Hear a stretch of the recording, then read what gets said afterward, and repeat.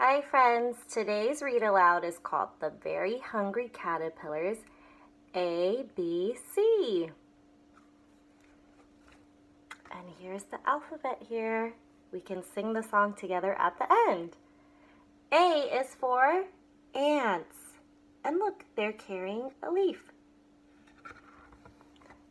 B is for bird. C is for, oh, this friend is familiar, caterpillar. D is for dog. E is for eagle, a type of bird. F is for ribbit, ribbit, a frog. G is for another type of bird, a gull, like a seagull.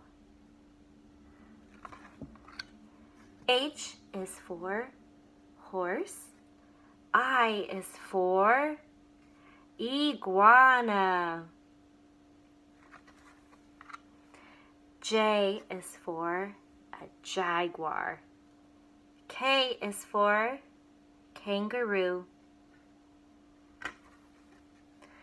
L is for lizard. M is for a mouse. N is for a narwhal. O is for another type of bird, an owl, hoot hoot. P is for a waddling bird, a penguin. Q is for a quetzal, another type of bird. T is for tiger. U is for a unicorn. See the horn here? V is for a vulture. That is another type of bird. Lots of birds in this book. W is for walrus. And look at his tusks here. And Z is for zebra. And now we can sing the ABCs together.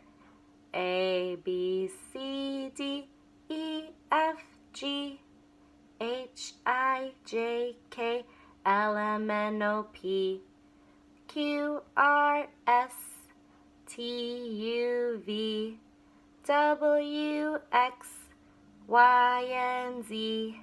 Now I know my ABCs. Next time, won't you sing with me?